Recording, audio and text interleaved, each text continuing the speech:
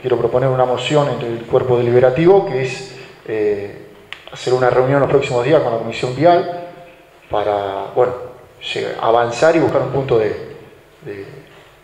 intercambio y acuerdo para ver cómo seguimos. Eh, si les va esta medida, que seguramente que no, o, bueno, o si recalculamos esta fórmula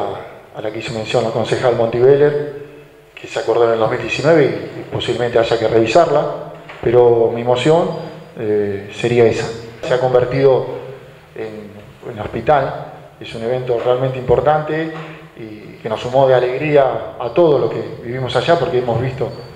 todo ese proceso de, transformación y crecimiento y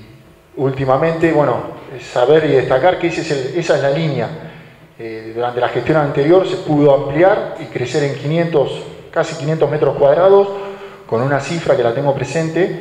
que rondaba los 10 millones y medio de pesos. Y este, esta gestión actual provincial vino, la recategorizó y aportó al desarrollo no solamente de Sierra la Ventana, sino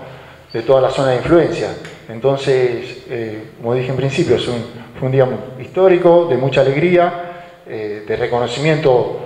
para todos los profesionales y no profesionales que trabajan a diario en esa, institución, sumado a la cooperadora, y al aporte de, de un vecino particular, que ya muchos eh, lo tienen presente, que es Horacio Granzi, que cada vez que se lo convoca,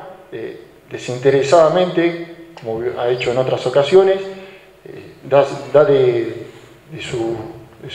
desde su lugar, aporta todo lo que más puede. Así que brindar por ello, felicitar y agradecer una vez más.